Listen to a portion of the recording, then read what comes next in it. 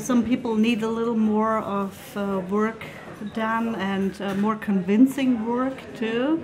But I will say, you know, if you don't give it a try, then you will never know. And if you had some issues before, if you're scared a little, if you're like um, anxiety patient or so, that would be the best place to you to for you to come. You know, um, there's no better place I ever found. You know, just try it, and you know, and you will be convinced.